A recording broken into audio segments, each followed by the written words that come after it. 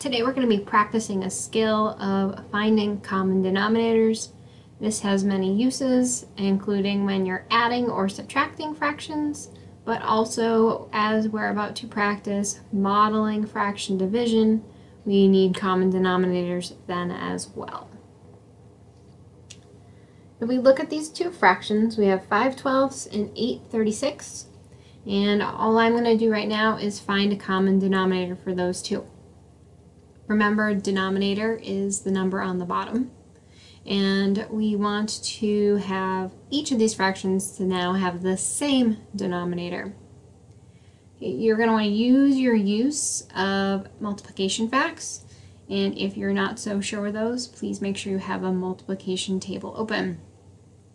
So if we're looking at 12 and 36, we want to think what number can we multiply them by so they are in common. I know if I did 12 times 3, that would equal 36. So I only need to multiply the denominator of the first fraction here, 12 times 3, and therefore I would also multiply the numerator because we need to keep it balanced. And in doing so, 5 times 3 would be 15, and 12 times 3 would be 36. And so now these fractions have a common denominator, meaning it is the same. For some problems, you might need to multiply both fractions to get that common denominator.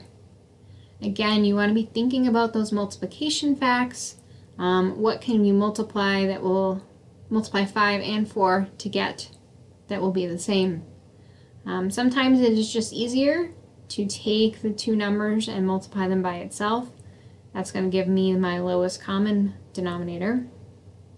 So I can do here 5 times 4 and therefore also doing 3 times 4 so that I now have 12 twentieths and so then I would be multiplying my second fraction by 5,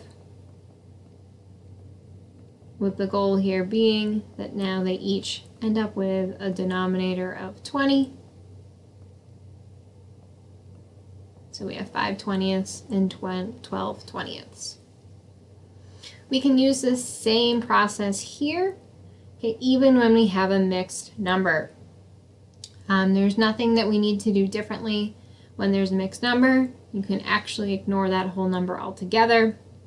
And when we look at our two denominators that we have here, we have a 4 and we have a 12. And so we only need to change this first one. Again, I know 4 times 3 would give me 12. So I will also do 3 times 3. I'm going to put my answer here on the bottom Okay, again, the 7 isn't changing.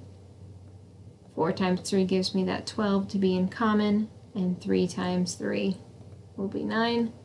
And these two fractions are actually equivalent to each other, but again, they have now the 12 in common.